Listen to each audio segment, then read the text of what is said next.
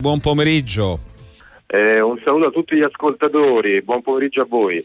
Allora, consigliere, piani di zona, massima francazione, cioè che vuol dire l'obolo da pagare al comune per tornare eh, in possesso pieno eh, di queste case nei piani di zona, la truffa fatta a tanti romani, ma fatta anche alle casse comunali, fatta anche eh, alla Regione Lazio che non ha controllato a che punto siamo? Perché noi ne abbiamo parlato con l'allora assessore eh, Berdini mh, qualche mese fa, ne abbiamo parlato anche oggi con i comitati dei cittadini, penso a Monte Stallonara, però ci sembra che la procedura di affrancazione sia, stia procedendo molto lentamente. Allora, guardi, buongiorno, allora, sono buongiorno. due temi differenti, sì, il, ma collegati. Quello che riguarda... Come? Co- differenti ma collegati.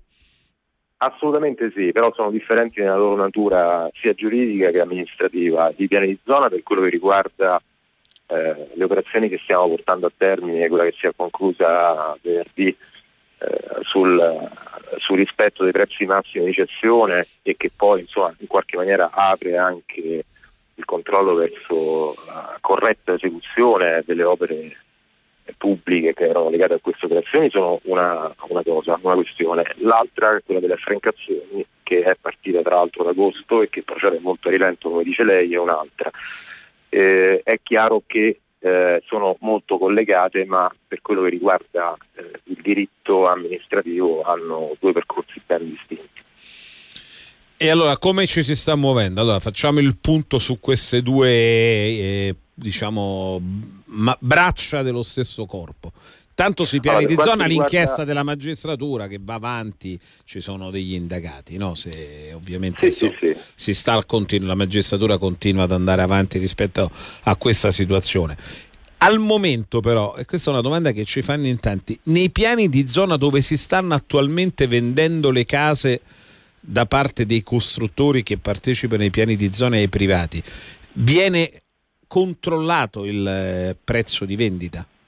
Parlo delle case di, di oggi, eh, non quelle di dieci anni fa.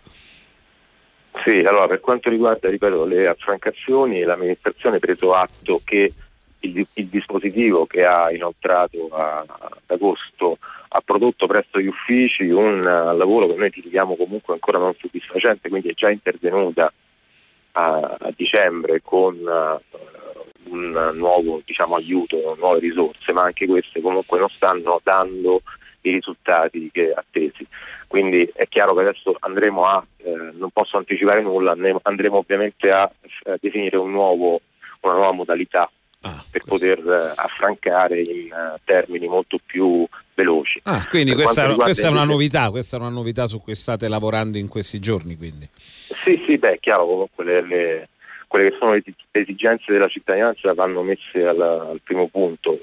Eh, noi quando diamo una disposizione agli uffici ovviamente la diamo anche in funzione di quello che è la risorsa disponibile e in questo momento le risorse disponibili oltre a essere poche sembra anche insomma, che non riescano a eh, gestire la mole, il carico di lavoro che gli arriva attraverso queste, queste procedure insomma, di, di affrancazione. Eh, per quanto riguarda invece i piani di zona il discorso è completamente differente perché come sa lei, come lei sa noi abbiamo avviato a inizio settembre un'altra, un'altra diciamo, filiera di amministrativa che era il controllo su tutti i piani di zona, ripeto, per quello che riguarda il rispetto dei prezzi massimi sia di cessione che di locazione. questa attività da parte de, degli uffici è stata portata avanti al momento ci sono delle valutazioni da parte nostra e anche qui ci sarà una importante novità a breve, perché mm. ovviamente insomma, noi eh, quello che vogliamo ottenere è il risultato e non, per quanto ci riguarda insomma, non, non abbiamo intenzione di, dire, di, di star dietro a, a quello che comunque per quanto riguarda gli uffici rappresentano degli ostacoli. I problemi vanno risolti e quindi a fronte di, di, di, di evidenze no, non c'è altro che da fare che trovare delle soluzioni alternative. Quindi insomma mi pare di poter dire che c'è un, un'attenzione massima da parte dell'amministrazione comunale a trovare una soluzione che dia rapidità di risposta ai cittadini romani interessati. Questa mi pare la cosa che va colta no? rispetto a, a, quanto lei ci diceva. Il rapporto con la regione, perché della regione non si parla mai, ma anche la regione ha una responsabilità. Guarda, io la sento molto bassa, faccio una certa fatica a essere... Eh, chieda alla regia mi, se mi alza sì. i toni.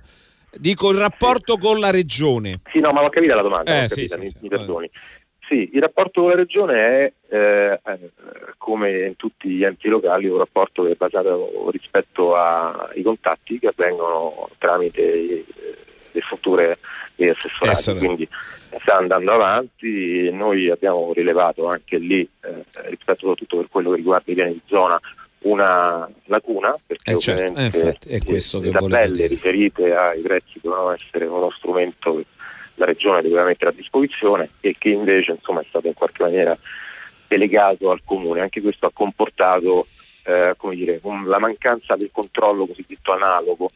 Ora chiaramente cercheremo di capire eh, attraverso il nuovo assessore quali possono essere le misure per poter mettere in piedi questo strumento che per noi è fondamentale, insomma, no? da parte anche di, di un'altra amministrazione avere quella forza sinergica, soprattutto per quello che riguarda le risorse, come dicevo prima, per poter eh, dare ai cittadini delle risposte anche nei termini del controllo, quindi il corretto funzionamento, la giusta applicazione della norma. Tanto ci è arrivata, chiedo alla redazione la conferma, un comunicato dell'assessore all'urbanistica, il neo assessore all'urbanistica che dice che a Tor Vergata, sempre in riferimento ai piani di zona, sono stati eh, requisiti otto immobili su cui pendeva lo sfratto per chi ci stava dentro e attraverso diciamo, questa requisizione il comune impedisce lo sfratto di otto famiglie. Anche questa mi sembra una buona notizia, mi sembra. Sì, è un, uh, è un provvedimento su cui stiamo lavorando da tempo, si è perfezionato in queste eh, ore. a seguito dell'avvio della procedura di, di eh, risoluzione del, del, diritto di concezione della superficie su cui erano stati costruiti questi immobili. Quindi non si tratta di un dire, di aver requisito, in realtà si tratta semplicemente di essere tornati in possesso, in possesso attraverso il diritto di superficie. Sì, eh, nel rispetto di quello, era, di quello, che è lo strumento che regola il contratto tra la pubblica amministrazione e il, l'operatore privato.